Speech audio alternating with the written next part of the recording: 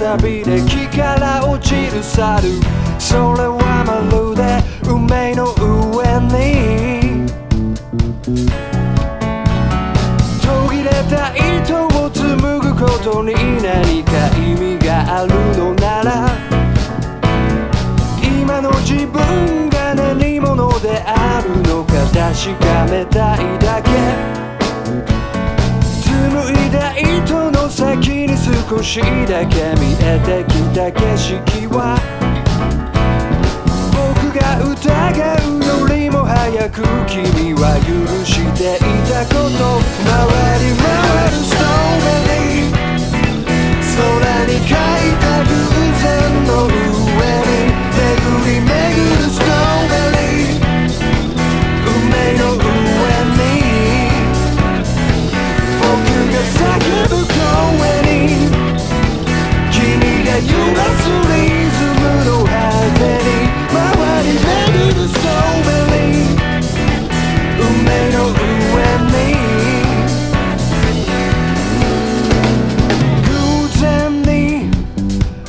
esquecer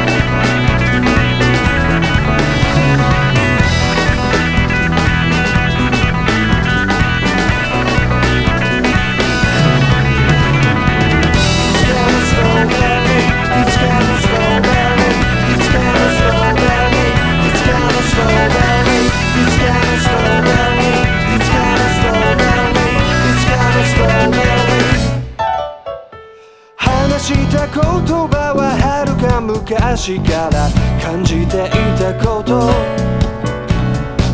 伝えた先に何が起こるのか分かりもしないまま。紡いだ言葉の隙間に宿したかすかな戯れは。